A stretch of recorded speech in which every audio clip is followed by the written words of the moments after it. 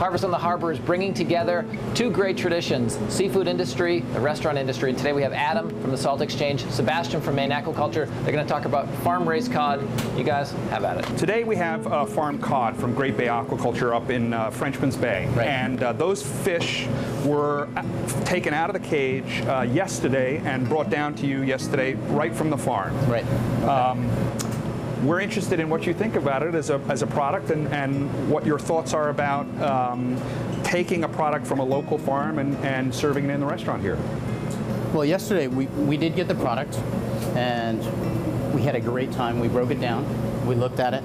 Um, it's got some very interesting qualities. The fish are fed a, um, a prepared feed uh, that's made with uh, fish meal and fish oil and uh, some ground up seaweed um, that's actually a, a locally occurring natural seaweed. And then they're grown in a cage which is about the size of this building. So if you were to sit as a diver in the bottom of that cage, it would be like being in a cathedral with a school of fish swimming around you.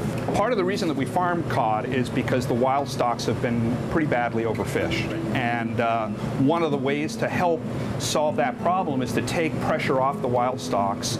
And by farming uh, the codfish, uh, we can do that. We can still provide the product to the marketplace, um, but we're not actually taking those fish out of the wild. And so we're giving the wild stocks a chance to rebuild from the farm-raised pen to the table. Thanks, Sebastian. Thanks, Chef Adam. You can see the chef himself, along with many other great Maine chefs, October 20th at the Harvest on the Harbor Ultimate Seafood Splash. You'll be there cooking some more? Be there. Sounds good. Get your tickets early. Go to harvestontheharbor.com. This will sell out, so shop early.